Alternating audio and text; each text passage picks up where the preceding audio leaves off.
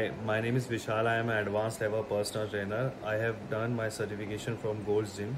In six years, I am helping people to achieve their fitness goals.